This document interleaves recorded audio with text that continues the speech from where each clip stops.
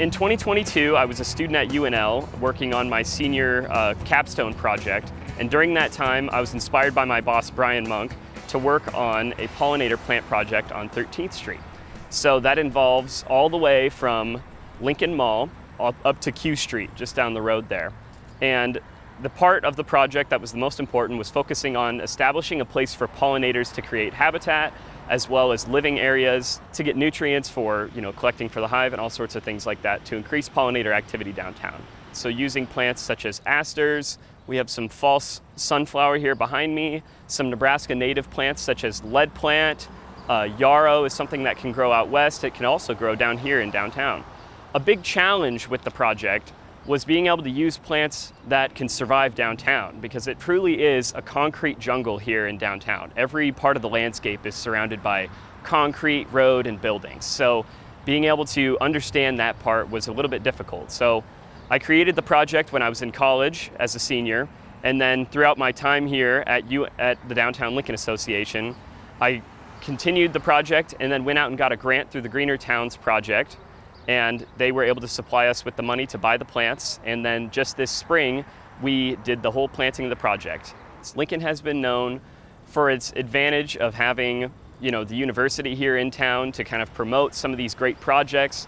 I think it's important to have plants like this downtown right along the roadside because it shows that if you can do it here downtown, you can do it anywhere else in the world, especially at home. So I think what's special about it being here in Lincoln, of course, the capital of the state of Nebraska, um, is that it shows, you know, all the plants, we, we take them from all over the state. You know, you have yarrow, you know, lead plant that grows out west, and you can bring it here to the capital city and show that it can grow right here in downtown. So it gives you an example of what you can use at home to plant for pollinators.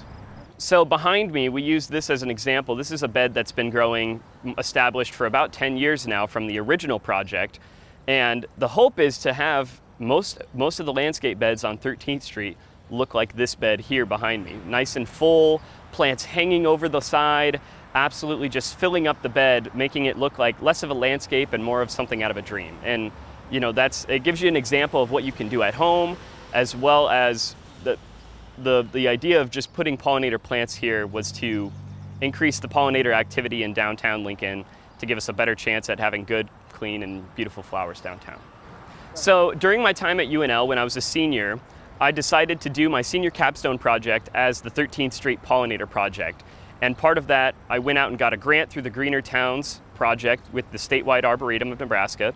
And they allowed us to be able to use the money to buy plants for this project. So my, that was my big emphasis. I did that while I was in college. Then I'm now almost uh, two years or a year out of college or so. And during that whole year, I've been working on this project, planning it, and then this spring we planted it.